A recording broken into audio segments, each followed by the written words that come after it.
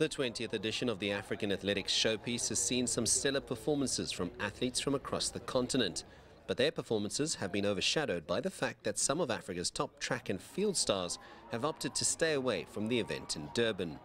Uh, I discussed with some strong countries like Ethiopia, like Kenya, why they didn't send some of their best athletes qualified for the Olympic Games. Uh, the answer was that oh, they are now preparing the Olympics. And but I know that in Europe next month, all the best athletes of Europe must, will be there.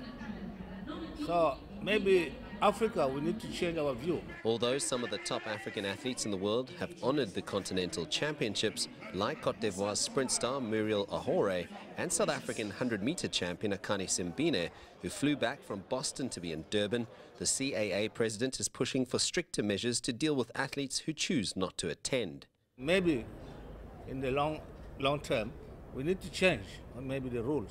Uh, if an athlete cannot compete in the uh, the continental event, maybe he can he can miss the world event.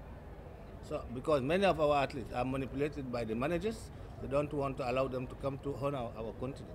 The rules are here. They must honor first our people.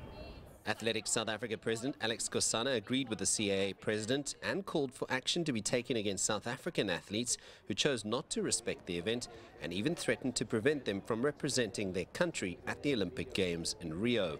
All athletes of this beautiful continent must attend the continental championships. If you cannot showcase your talent at home, where else are you going to show your talent? And I think, Mr. President, you are right.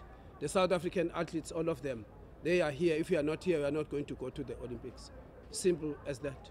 The absence of the big name athletes has certainly left a bitter taste in the mouth of the organizers of this event. It hasn't deterred some of the stars that have taken the time to be here to produce some outstanding performances on the track and field. It is a situation that needs consideration from the CAA and the athletes involved so that the Continental Championships are an event that the athletes want to be a part of and not forced to attend.